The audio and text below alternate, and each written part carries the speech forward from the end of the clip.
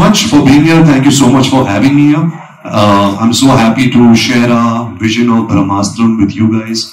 Uh, all of you uh, are somebody who come from a state which is so rich in culture, so rich in um, in music, in the performing arts, and it's really my privilege to be here with all you guys.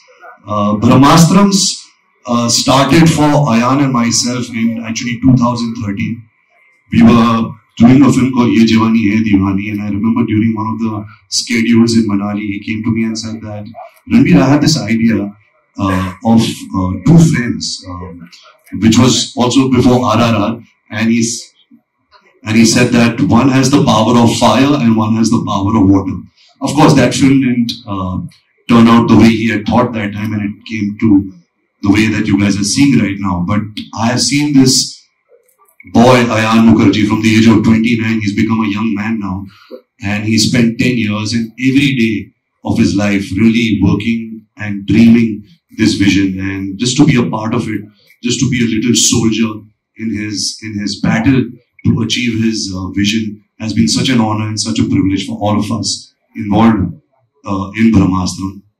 I've also had the opportunity to work with such legends like uh, Mr. Amitabh Bachchan, Nag sir, who today I can also call my friend, who has uh, completely, completely with open arms, uh, you know, accepted Ayan, Alia, myself, Amla ma'am, Nag sir, his children, everybody, and he's made us a part of his family.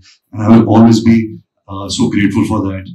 Never in my wildest dreams I thought that I would have this name, SS Rajamouli, on a poster with my face on it, and that is such a big privilege, sir.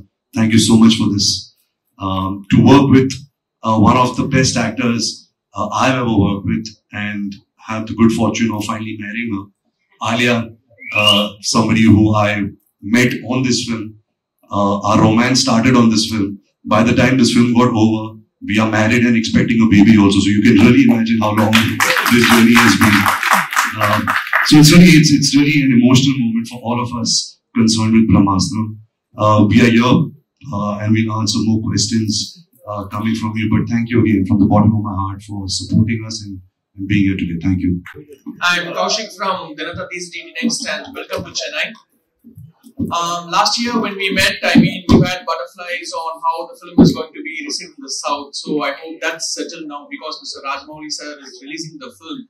So how is how does it feel to break into the global scene with Brahmastra and uh, Mr. Rajamouli presenting it, who has been the pioneer of such spectacles in Indian cinema? Well, like I mentioned earlier, it's completely an honor and privilege, you know, to have somebody like you, a director that we all love, not just in our country, but worldwide now.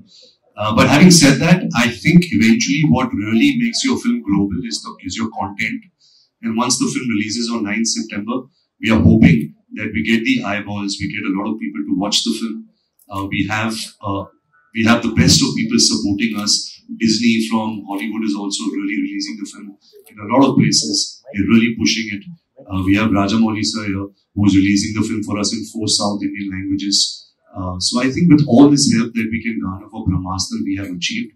But now we are only hoping that the audiences also receive the content of the film, which is king. Great. Thank you so much.